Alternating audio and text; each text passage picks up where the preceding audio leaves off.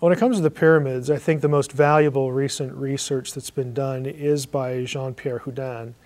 Uh, I like his theory, uh, but he would be the first one to admit that we can't say that his ideas are the explanation for how the pyramids were built or that we even need that.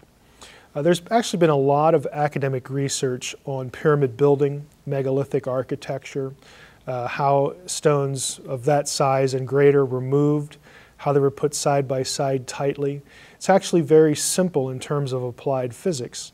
Uh, on my Paleobabble site, again, if you click on the topic for pyramids, you'll find a number of peer-reviewed articles that I have online that you can read about ancient Egyptian engineering techniques. But Houdin's idea of an internal ramp, I think, uh, is coherent. I think there's good circumstantial evidence for it. If you have watched the National Geographic special uh, on his view, I think you would agree that there is good circumstantial evidence for it. It has a, has a lot of explanatory power for a lot of the fundamental questions. And I think it's important because Houdin's theory depends on a very simple idea in engineering, both in the ancient world and in today's world, and that is the use of weight and counterweight uh, using the weight of one object to lift a, an object of greater weight.